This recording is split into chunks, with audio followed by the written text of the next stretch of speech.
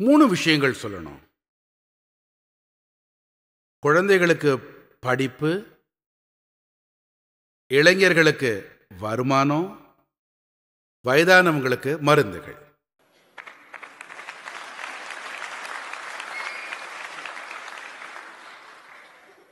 இந்த விஷயங்கள் பற்றி தான் ஒரு ஆரோக்கியமான சமூகம் அக்கறை எடுத்துக்க வேண்டியிருக்கு. என் அனுபவத்தில் பார்த்துருக்கேன்? என்னதான் அருமையான குடும்பமாக இருந்தாலும் ஒரு துக்கமோ தீய வழக்கமோ எதுவுமே கிடையாது. நல்லபடியாக இருக்கிற குடும்பமாக அது இருக்கும். யாருக்கும் எந்த கெடுதலும் செஞ்சது கிடையாது. ஆனால் அந்த குடும்பத்தில் ஒரு நோய் வந்துருச்சுன்னா யோசிச்சு பாருங்க பொண்ணு வளர்ந்துருச்சு அதுக்கு ஒரு நல்லது கெட்டது செய்யணும் கல்யாணம் செஞ்சு கொடுக்கணும். இந்த வீட்டில் ஒருத்தர் நோய்வாய்ப்பட்டுட்டாருன்னா மொத்த திட்டமிடலும் தவிடுபொடியாயிரும். பொண்ணு கல்யாணம் நடக்காது. நோய் மொத்த குடும்பத்தையும் நாசம் செஞ்சுட்டு போயிடும் ஒரு ஏழை ரிக்ஷா ஓட்டி பழப்பு நடத்துகிறாரு நோய்வாய்ப்படும் போது ஒரு மனிதன் நோய்வாய்ப்படுறதில்ல குடும்பம் முழுக்க நோய்வாய்ப்படுது. அமைப்பு முழுவதும் நோய்வாய்ப்பட்டு போகுது. இதை மனசில் வச்சுக்கிட்டு தான் நாங்கள் ஒரு திட்டம் தீட்டினோம். இதில் நாம் உடல்நலத்துறையில் ஒரு முழுமையான அணுகுமுறையை கையாண்டோம். சிலர் இன்னைக்கு இதை மோதிக்காருங்கிற வகையில் பரப்பிட்டு இருக்காங்க. முக்கியமாக இந்த திட்டம் ஆயுஷ்மான் பாரதம். இதில் நீங்கள் பார்த்தீங்கன்னா தடுப்பு சுகாதார பாதுகாப்பு மலிவு விலை ஆரோக்கியம் மேலும் நீடித்த சங்கிலி தொடர் எதுவாகட்டும் எல்லா கோணங்கள்லையும் முன்னேறிட்டு இருக்கோம் இதில் ரெண்டு கூறுகள் இருக்கு. ஒன்று நாங்கள் தேசத்தில் கிட்டத்தட்ட ஒன்றரை லட்சத்திற்கும் மேற்பட்ட உடல் நல மையங்களை ஏற்படுத்த விரும்புகிறோம் இதன் மூலமாக அக்கம் பக்கத்தில் இருக்கிற பன்னிரெண்டு பதினைந்து கிராம மக்களுக்கு உடல் நலம் தொடர்பான அனைத்து வசதிகளும் கிடைக்கும். இவையெல்லாம் தொழில்நுட்ப உதவியோடு இயங்கும். இதனால பெரிய மருத்துவமனைகளோட இணைஞ்ச நோயாளிகள் வந்தா உடனடியாக அவங்களுக்கு வழிகாட்டணும் தேவையான மருந்துகளை அளிக்கணும். இரண்டாவதா நோய் தடுப்பு சுகாதாரத்துக்கு வலு சேர்க்கப்படணும். அது யோகா கலையாகட்டும் வாழ்க்கை முறையாகட்டும் இவை எல்லாத்தையும் ஒன்னா இணைக்கணும். இல்ல ஊட்டச்சத்தாகட்டும் நாங்க ஒரு ஊட்டச்சத்து இயக்கத்தை தொடங்கி இருக்கோம் தாய் சேய் உடல் நலத்தை முன்னிறுத்தி இருக்கோம் இந்த திசையில பணிகள் நடைபெற்று வருது. உலகத்தோட வளர்ந்த நாடுகள்ல கூட மகப்பேறு விடுப்புன்னு இன்னைக்கும் கூட எங்க அரசு அழிச்சிருக்கிற தாராள அளவுக்கு கிடையாது. இங்க இங்கிலாந்தை சேர்ந்தவங்களும் இதை தெரிஞ்சுக்க சந்தோஷப்படுவாங்க. நாங்க அந்த குழந்தைகளோட உடல் நலம் மேல அக்கறை எடுத்துக்கிட்டு அந்த தாய் உடல் நலம் மேல அக்கறை எடுத்துக்கிட்டு மகப்பேறு விடுப்பை இருபத்தாறு வாரங்களா ஆக்கியிருக்கோம்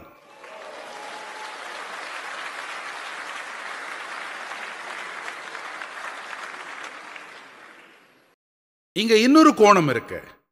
குடும்பத்துக்கு எப்படிப்பட்ட அமைப்பை அமைச்சு கொடுக்கணும்னா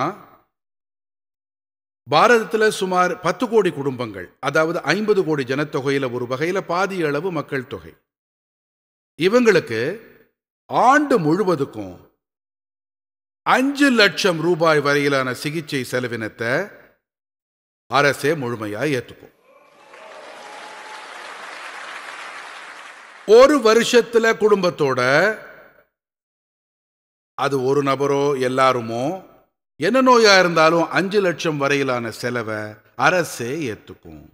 இதன் காரணமாக ஏழையோட வாழ்க்கையில வர சங்கடத்திலிருந்து அவருக்கு விடுதலை கிடைக்கும். எனக்கு நல்லா தெரியும் இது பகீரத பிரயத்தனம்னு. ஆனால் யாராவது செஞ்சுதான் ஆகணும்? ரெண்டாவதா இதன் காரணமா ரெண்டாம் மூன்றாம் நிலை நகரங்களில் உருவாகக்கூடிய தனியார் மருத்துவமனைகள் இவற்றோட அருமையான நெட்வொர்க் ஏற்படும். ஏன்னா அவங்களுக்கு தெரியும் நோயாளிகள் வருவாங்கன்னு. நோயாளிக்கும் தெரியும் அவரோட செலவு அரசு ஏற்றுக்குங்கிற போது சிகிச்சை செஞ்சுக்குவாங்க. சின்ன நோயா இருந்தாலும் போவாங்க இன்னைக்கு அவங்க போறதில்ல. அடவிடையா ரெண்டு நாள்ல சரியாயிரும்னு அவர் அதை சகிச்சுக்கிறாரு. ஆனா தெரிஞ்சா அவர் கண்டிப்பா போவாரு. மருத்துவமனைக்கும் உறுதியா தெரியும் நோயாளி கண்டிப்பா வருவாங்கன்னு. ஏன்னா பணத்தை வேற யாரோ கொடுக்க போறாங்க.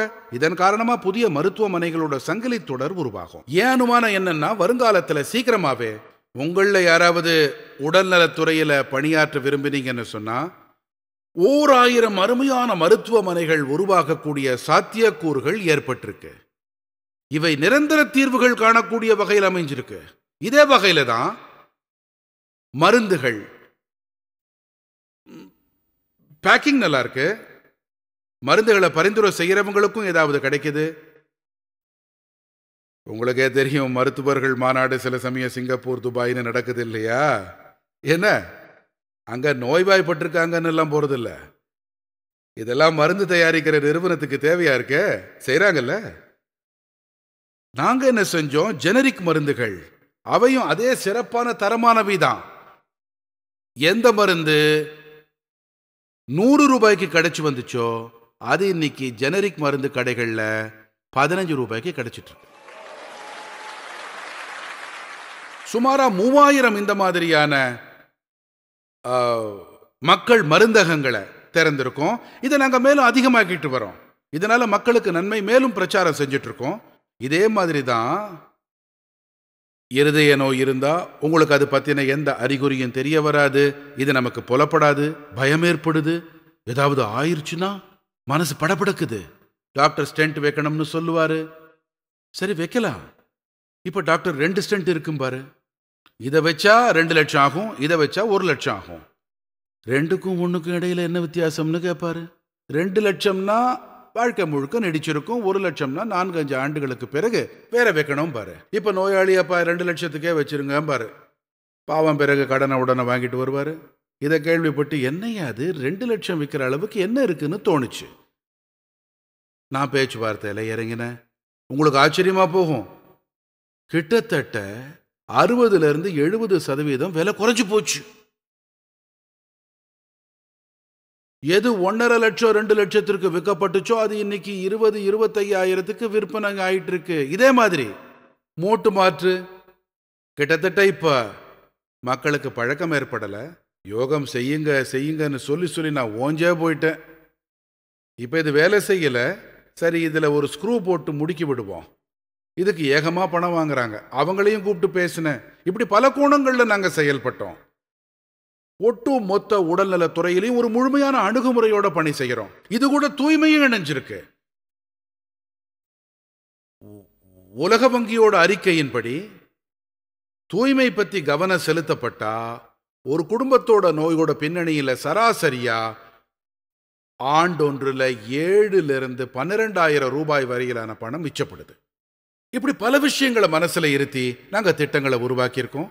மக்கள் இதை மோதிக்காருனாலும் சரி இது இது அவங்க அவங்க இஷ்டம். அடிப்படையில் என்னோட விருப்பம் என் நாட்டு மக்கள் மேலே அக்கறை காட்டப்பட்டாகணும்.